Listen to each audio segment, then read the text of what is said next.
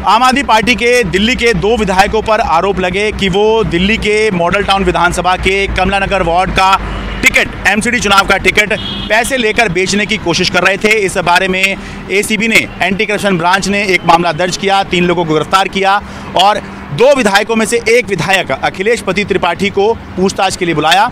तो जब anti corruption branch के इस दफ्तर में अखिलेश पति त्रिपाठी पहुँचे तो इस पूरे मामले के बाद वो पहली बार मीडिया के सामने आए और उन्होंने इस बात से इनकार किया, जो एसीबी दावा कर रही है कि जो ओम सिंह गिरफ़्तार इस मामले में हुआ है, वो अखिलेश पति त्रिपाठी का रिश्तेदार है। उन्होंने कहा कि ये, जो शख्स है, ये मेरा रिश्तेदार नहीं है और कानून अपना काम करेगा।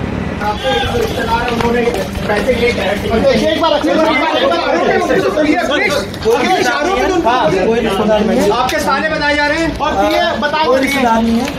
है। मैं जो भी कानून के तहत उन्हें बुलाया पचपन लाख रुपए लिए आपने? सर पचपन लाख रुपए लिए आपने? कितने लिए थे? खुद ही दलाली में शामिल रहता है। उसके खिलाफ कम से कम पचास केस चल रहे हैं। उसमें इंस्पेक्टर जो जाँच कर रहे थे अशोक गेर थाने में उसके खिलाफ। सब इंस्पेक्टर वीडियो आई है उनके उनके उन, उनके खिलाफ लगाया कि उन्होंने उनका मोलेस्टेशन करने की कोशिश की अपनी पत्नी का। डीडीए के अभी एक वायरल हुआ डीडीए का एक केस जिसमें डायरेक्टर लेवल के एक अधिकारी थे। उनको फोर्स करके उनको ब्लैकमेल करने का काम कर रहा था और उसका भी वीडियो वायरल हो रहा था पीछे ऐसा व्यक्ति जो अपने भाई भतीजों को चाकू से मारता है उसका केस दर्ज है। और लोगों को कम से कम दसियों लोगों को जो है इसने जिस व्यक्ति ने रेप के केस में फॉल्सली लोगों को झूठा आरोप लगाने का आदत है इसका तो ऐसे लोगों के खिलाफ बोलना वाजिब में समझता है, लेकिन ये मैं कहना चाहता हूँ कि कानून अपना काम कर रही है। अगर इस तरीके का अगर क्योंकि चुनाव चल रहा है चुनाव के सर ये ओम सिंह के बारे में बता दीजिए। ओम सिंह आपके रिश्तेदार हैं आपके साले इसी में कहना है कि वो आपके रिश्तेदार हैं, ओम आपके सिंह। रिश्तेदार हैं और उनके आधार पर आपका एड्रेस है। कैसे? कैसे आपके साले आधार कार्ड पर आपका जो एड्रेस है वो लिखा हुआ है और आपके साले हैं आप बताइए। आप बताइए ना आप खंडन आप खंडन करते हैं। कैसे रिश्तेदार हो? सिंह है। मेरी सर पत्नी शिवशंकर पांडे आप खंडन- शिवशंकर पांडे के बारे में बोला गया कि आपने पैसे तो मिले। विधानसभा की विधानसभा मीडिया से बात करते हुए अखिलेश त्रिपाठी अपना ज़्यादा समय जिस शख्स के ऊपर आरोप लगाते हुए बोल रहे हैं, वो हैं गोपाल खारी, जो इस मामले में शिकायत करता है। जिन्होंने एसीबी में ये शिकायत दर्ज करवाई कि मुझसे मॉडल टाउन विधानसभा के कमला नगर वार्ड का टिकट देने के बदले में 90 लाख रुपए की रिश्वत मांगी गई और पैंतीस लाख रुपए मैंने अखिलेश त्रिपाठी को दिए 20 लाख रुपए मैंने राजेश गुप्ता को दिए। दो, ये दोनों ही आम आदमी पार्टी के विधायक हैं। तो ये ये अखिलेश त्रिपाठी इनके बारे में बोल रहे थे।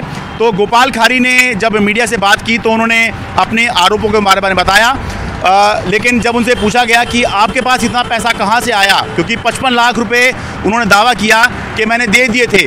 35 लाख रुपए अखिलेश त्रिपाठी को देने का दावा किया और 20 लाख रुपए राजेश गुप्ता को देने का दावा किया जिसमें से 33 लाख रुपए की जो है रिकवरी की बात जो है एसीबी ने कही है।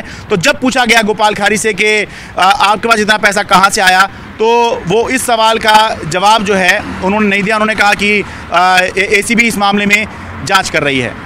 क्या एग्जैक्टली एलिगेशन लगाई है? आपने क्या कहा है? क्या एसीपी को मैंने अपनी कंप्लेंट दे दी है। जाँच का विषय है सारे सबूत दे दिए एसीबी को।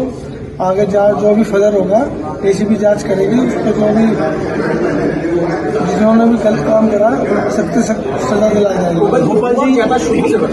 हुआ क्या था? आपको कब पैसे मांगा था क्या था? क्या जाँच का विषय है मैंने एसीबी में कंप्लेंट दे दीजिए आप जो भी होगा एसीबी जाँच में आपको पता लग जाएगा। कंप्लेंट के बारे में बता के बारे में क्या क्या है?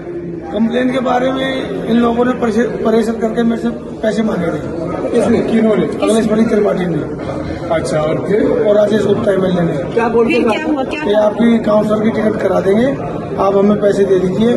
मगर मेरे पास इतने पैसे हैं नहीं उन्होंने परेशान करके ज़बरदस्ती मेरे से बोले कि पैसे दो तभी तुम्हारी टिकट होगी नहीं अदर नहीं होगी।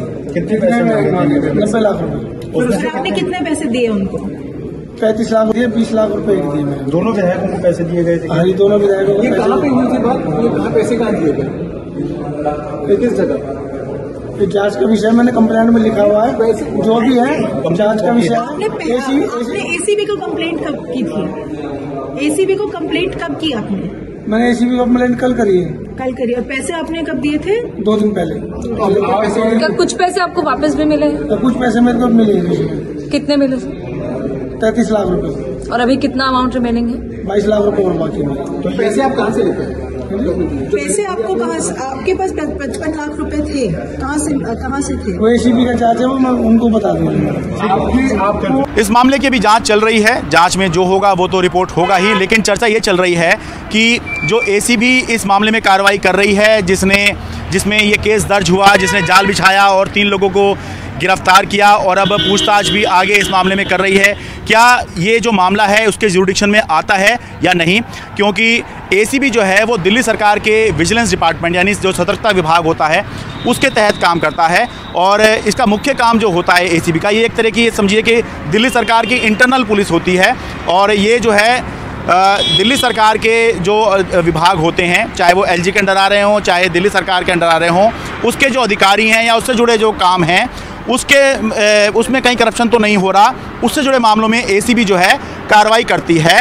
लेकिन इस मामले में कहीं पर भी सरकार का कोई डिपार्टमेंट या सरकार इन्वॉल्व नहीं है। केवल आम आदमी पार्टी के दो विधायक हैं और दूसरी तरफ़ जो शिकायत करता है वो भी आम आदमी पार्टी का कार्यकर्ता ही बताया जाता है। तो ऐसे में सरकार इसमें कहीं इन्वॉल्व नहीं है। तो चर्चा ये चल रही है कि क्या इस मामले में जुडिक्शन जो है एसीबी का बनता है या नहीं। लेकिन ये एक अलग बात है जुडिशन पे हो सकता है आगे जाकर सवाल हो, क्योंकि ये सवाल इसलिए उठ रहा है कि आगे जब मामला कोर्ट में जाएगा तो क्या कोर्ट में ये मामला टिक पाएगा, ठहर पाएगा या नहीं चल पाएगा? या फिर कोर्ट ये कहेगी कि आप जो हैं, जो दूसरी एजेंसी हैं, जो संबंधित एजेंसी हैं, जिसके तहत ये आता हो, आप उसको ट्रांसफ़र कर दीजिए, क्योंकि तैंतीस लाख की जो रिकवरी एसीबी दिखा रही है, वो इस मामले में एक बहुत बड़ी बात है।